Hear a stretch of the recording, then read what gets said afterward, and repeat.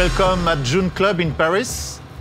Tonight we have a special guest for the party African Roots. Myself, Rocco, and Cuebur tonight. What's up, guys?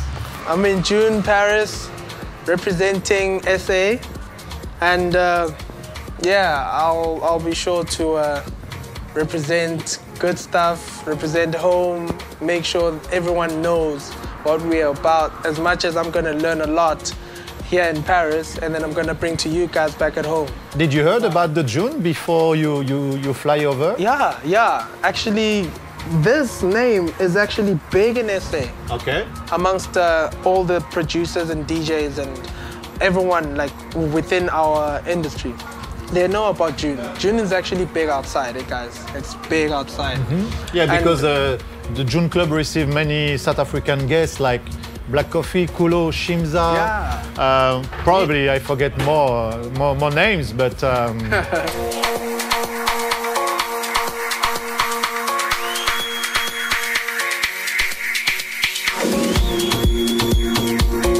tell us how did you how did you start to be in the music industry?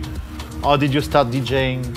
Oh, you want to know everything about that? Started producing at the age of 15. I was a beatboxer at first, Okay. and then uh, got introduced to uh, the, the the production side around 2005, and then uh, I only produced hip hop. And then a friend of mine uh, introduced me to house music around 2006. The song that got me into house music was actually um, uh, Kerri Chandler featuring Monique Bingham okay. in the morning. That's a classic. That's a tune, a classic. Yeah. Yeah, yeah. And then from there on, I started falling in love with house music. Then I started hearing about Rocco. I started hearing about Etches. I started hearing about a lot of other living legends, which are also my mentors.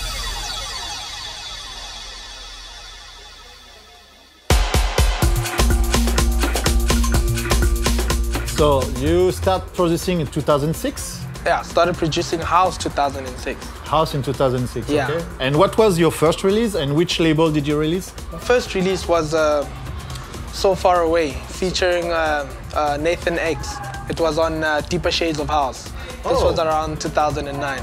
Okay, on Lars Behrenroth label. Lars Behrenroth, Okay. yes. And we have like a super hot track currently called uh, No, No- Doubt. No Doubt. Alongside uh, uh, Marissa Guzman, Guzman, which is doing very well, very well in the market right now. People still playing it now, actually. Yeah, and it's still growing. Back at home in SA, it's like, it's growing. It's only starting now to pick up. And this song was released last year around uh, May.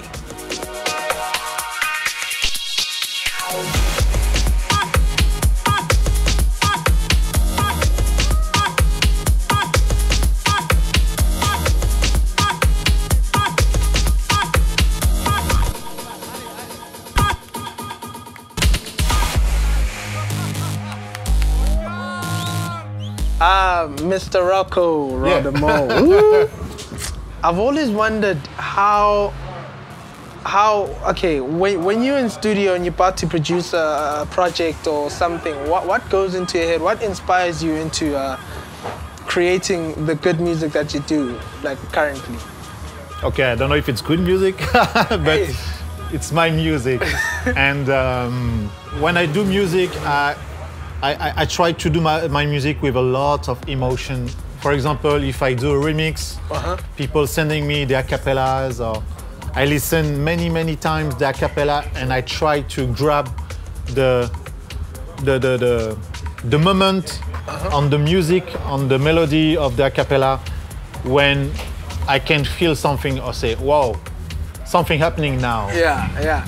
Even it's only two seconds of the acapella, I'm gonna start to work around that part of the Around acapella. that section, yeah, yeah. And uh, it's so I do with all my music, and uh, I can spend hours and hours just to do some some chords on with the strings. Uh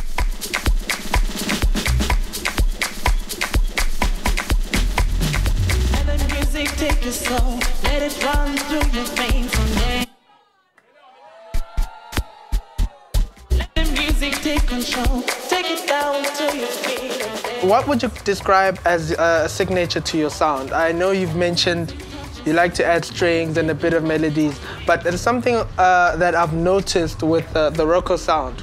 You have, I don't know how you do this, but your hats, they are totally different. They're like, you can you can tell that's a Rocco song because of the hats that you play. Okay. on They're too loud, probably.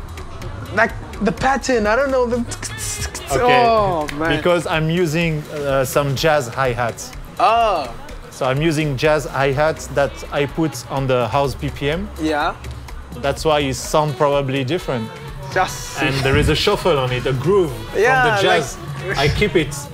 Uh, so probably it what making my music, my hi hats, Yeah. so unique.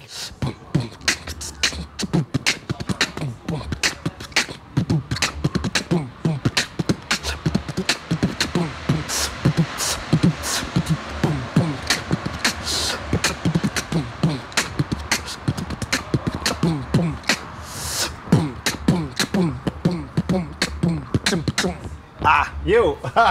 whack whack whack MCs. Please don't diss me. I don't know how to. I don't know how to beatbox. It's been it's been a long time since I beatbox. So this is uh-uh. so yeah.